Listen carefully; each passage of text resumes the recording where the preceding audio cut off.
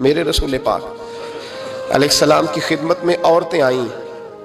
अर्ज़ करने लगे, या रसूल अल्लाह इस्लाम में हमारे लिए भी कोई नफ़ा है? हजूर ने फरमाया, क्या हुआ? कहने लगी, हजूर, हमें तो नुकसान ही नुकसान नज़र आ रहा है अपने हक में। हजूर बतलाएँ, अगर आपके दीन में कोई खैर है तो हम कलमा पढ़े फटाफट। बाकी तो दुनिया में हमें अपना नुकसान ही दिखाई देता है।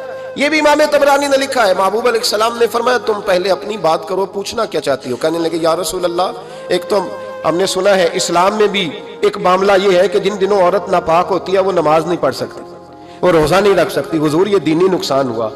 और दो औरतों की गवाही एक मर्द के बराबर है।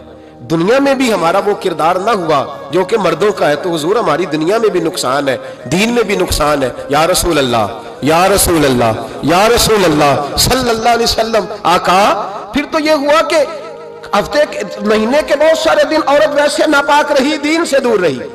और अगर वो कौमी मामलात में कोई किरदार अदा करना चाहे, फिर भी उसकी गवाही दो औरतों की एक मर्द के बराबर। तो ज़ोर दुनिया का भी नुकसान, दीन का भी। मेरे करीब ने फरमाया, बैठ जाओ।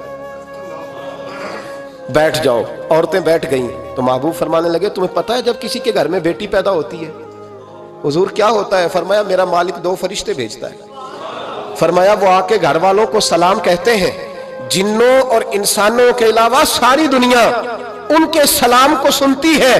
फरमाया, फिर वो फरिश्ते अपने परों से उस बेटी को ढांप लेते हैं और फिर उसके सर पर पर फेरते हैं। और फरमाया, फिर वो उनके बाप को कहते हैं, इनकी सही तरह परवरिश करना। फिर उनके जिम्मेदारों को कहते हैं, उनके खानदान के बड़ों को कहते हैं, सही तरह पालना।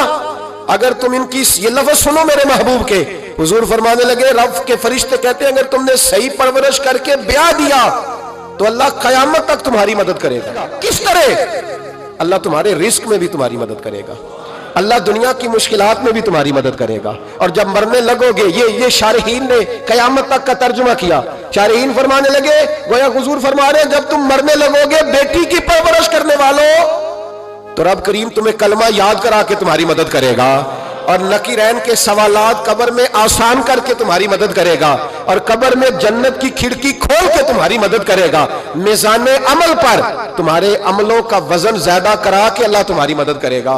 पुल सिरात पे तुम्हें आसानी से गुजार के तुम्हारी मदद करेगा।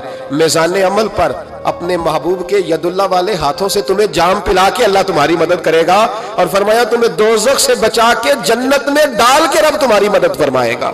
ये तुम्हारी मदद होगी। हजूर ने फरमाया, ये तो है बच्ची की परवरिश। और मेरे महबूब ने फरमाया, और तो तुम्हें पता है, जब कोई औरत हामिला होती है तो उसे क्या मिलता है? बीबियाँ तो पहली बात सुन के रोने लगी। उनके आंचल आंसुओं से भीग गए। महबूब फरमाने लगे, जब कोई औरत हामिला होती है तो रब उसे उसी तरह का अजर देता है, जिस तरह उस मुजाहिद को अजर मिलता है, जो जिहाद फ़ी सबील्ला में जाता है। उतना अजर अल्लाह हामिला औरत को देता है। और महबूब करीम सलाम फरमाने लगे, जब वो बच्चे की पैदाइश होती है, जब बच्चा जनती है तो रब उसे उतना अजर अता करता है जितना रब करीम एक शहीद को अजर अता फरमाता है। एक शहीद के बराबर मालिक उसे अजर दे। और शहीद का अजर तो आपको पता ही है कितना है। उसका पहला कतरा ज़मीन पे गिरता है तो गुना अल्लाह सारे माफ़ फरमा देता है। फरमाया, अल्लाह औरतों को ये अजर देता है। मेरे महबूब फरमाने लगे, शर्त सिर्फ़ इतनी है कि अपने खामन की फरमा बरदार रहना और फरमाया, उसके बाद जब वो बच्चा पालती है, रात को उठ के उसे दूध देती है, और अगर बोलो बराज करे तो रात को उठकर उसकी सफ़ाई करती है। फरमाया, जो बीबी अपने बच्चों की खातर रात बेदार रहेगी, रब करीम उसे इतना ही अजर देगा, जितना रात को उठ के नफल पढ़ने वाले को अजर अता फरमाता